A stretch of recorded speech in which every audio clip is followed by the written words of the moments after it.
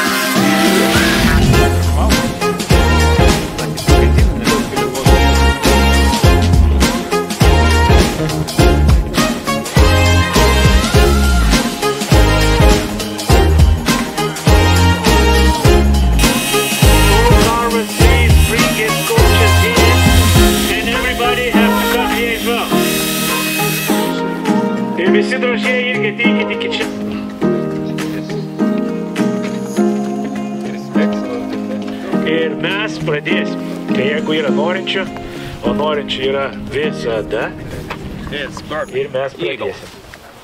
with short beak. Hayden, come here. Too much, yeah? Kaulis firminė savo, bet gerai. Gerai. E, turime patį pirmą, tai čia yra erelis jį padarė Marko. Jo, Marko, mūsų svečias iš Slovenijos. Marko is yours, yeah? Ok. Tai jo pradinė kaina bus, bus, bus 50 eurų. Ar kažkas nori pasiūlyti 50 eurų šitą realį?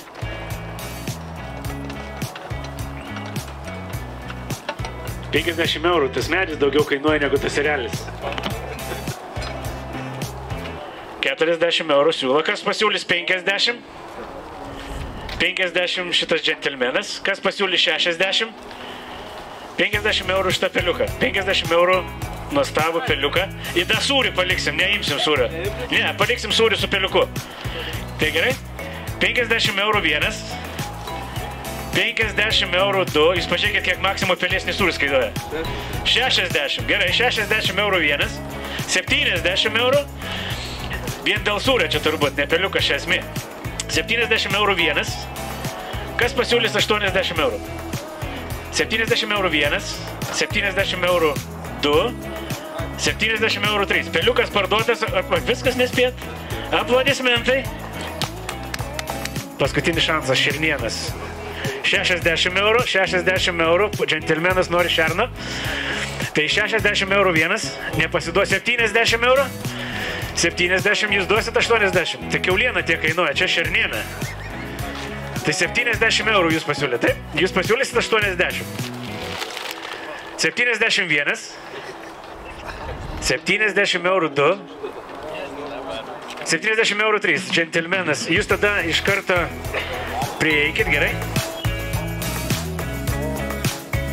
Norės kažkas įsigyti už 100 eurų šitą nuostabią gražią pelėdą.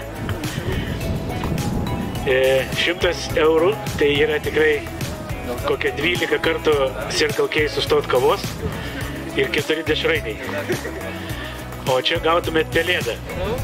Tai jeigu norinčių nebus, tai jinai lieka dar kitam aukcionui, tiek ratoj, tiek poryt. 100 eurų.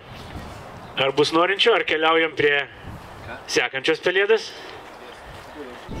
Ją padarė Vidas, ranka yra 60 eurų. Vidas, e, mūsų bendražygis, jau turbūt visus, kiek yra čempionatų, tiek metų irgi keliauja kartu. Praeitų metų prizininkas, man atrodo, dar ne? Kažkokią vietą, kokią tu vietą paėmėjai? Ką? A, žiūrovų, žiūrovų, taip sprendimu jisai laimėjo Vidas su savo mažuoju princu praeitais metais. Tai 60 eurų džentelmenas pasiūlė.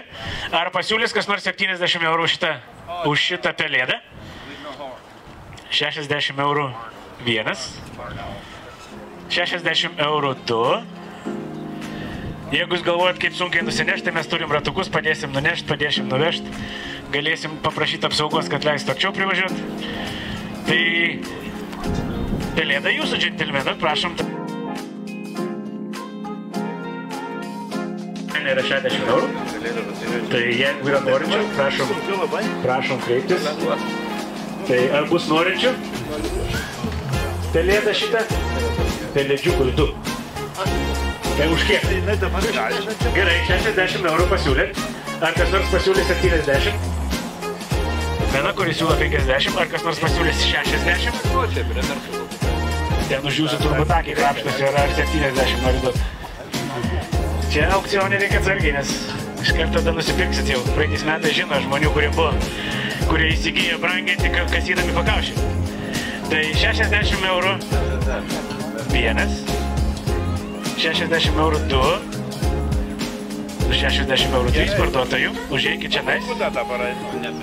Aš norėjau padauginti, bet žiūrėkit, jis klauso, pasirodo nemiega. Tai gerai, nu tiek to, už, už 50 jums ir pardavėt. Gerai, matot, kaip reikia nežiopsonės. 10 eurų teks brangiau susimokėti. Šimtą duodat, ne? Šimtas, gerai, šimtas. Dabar jau 30. Ar pasiūlys 110 kas nors už šitą zuikį? 100 eurų. Galit pasižiūrėti, vat, ausis tikros. 100 eurų vienas. Ar 110 pasiūlys kas nors? 100 eurų du. 110 eurų džentelmenas pasiūlė, vis dėlto zuikis to vertas. Ar pasiūlys 120? 110 eurų vienas. 110 eurų, 120 eurų. Galima atsukti zuikį. Į šitos du džentelmenus, kurie čia dabar kovoja. Tai 120 pasiūlyta šitą zuikį. E, what is name? Rila. Rila. Ryla. Yeah. O, vardas Ryla. Romanian uh, rabbit uh, name. Aha, rumuniškai e, e, zuikis, ne? Rabbit, ne, triušis. Ryla. Tai 120 kol kas yra pasiūlyta, tai 121. 122. Nu, 100, 130, o Jėzus kaip kelia intrigą, žmonės čia moka taip padaryti. 130 už Rylo. Turbūt iš didžiosios raidės, pavard, paskui paklausim dar pavardės, gal dar kaina pakils. Tai 131, 132, 130, 140, 140 už Rylo, 141, 142, 143, sveikinu. Jis pirmą kartą dalyvauja mūsų čempionate. Tai ir jos pradinė kaina yra 50 eurų. Kas norėtų bobutę 50 eurų? Įsivaizduokit, jeigu jūs norite sėdėti prašyti išmaldos prie maksimos, jums to daryti nereikės. Bobutę pasodinat, ranka ištiesta, per dvi savaitės susigražinat 50 eurų.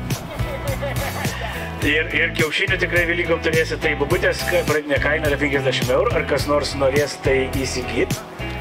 50 eurų vienas, niekas, o antras kas nors, o trečias. Gerai, mes paliksim kitam, kitam. Tai realiai 100 eurų. Jeigu nėra norinčių, mes tada paliksim kitam, kitam aukcionui ir bus galima pabandyti rytoj arba šeštadienį iš, iš, iš Amerikos, iš USA ir jo kaina.